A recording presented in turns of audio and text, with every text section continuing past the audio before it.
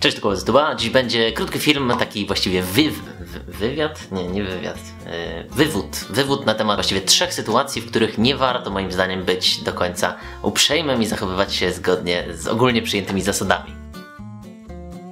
Pierwsza sytuacja tyczy się jedzenia. Tyczy się jedzenia. Mamy na przykład sytuację taką, że siedzimy sobie w kuchni. Załóżmy, że jesteśmy w pracy. Nie musisz tak przytaczać aż. Załóżmy, że jesteśmy w pracy, jesteśmy w trakcie jedzenia i co chwila wchodzi ktoś i mówi nam Smacznego, smacznego, smacznego. Wolałbyś, żeby e, spojrzał na ciebie i nic nie mówił, tak? Yy, nie, wolałbym, żeby, żeby nic nie mówił.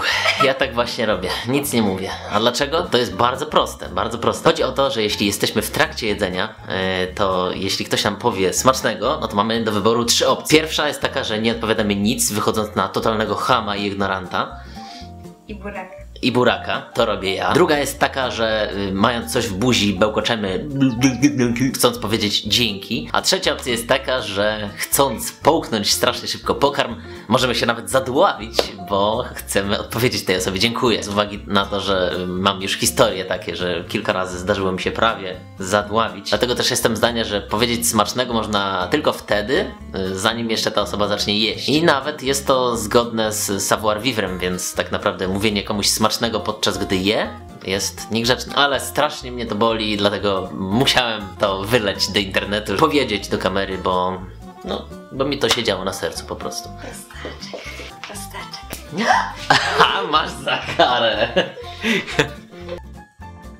Druga rzecz tyczy się przechodzenia przez... Nie widać? No, widać cię, tutaj jesteś. To ja nie wiedziałam. Ojejku.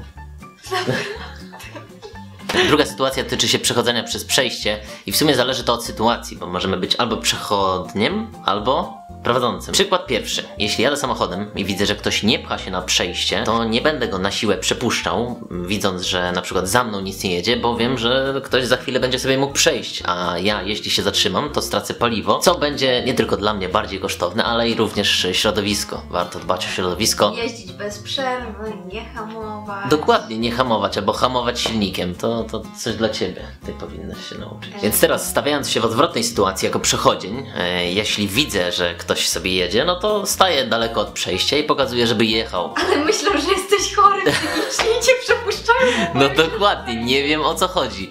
Ludzie zamiast korzystać z tej wskazówki, że jedź, jedź, to chyba się boją, że jej wkręcam i chcę wymusić jakieś, nie wiem, odszkodowanie czy coś. Najlepsi są tacy, którzy widać, że jadą z takim impetem, widać, że szybkość jest niesamowita. Ja specjalnie staję daleko od przejścia, jedzie, jedzie, jedzie i nagle się zatrzymuje.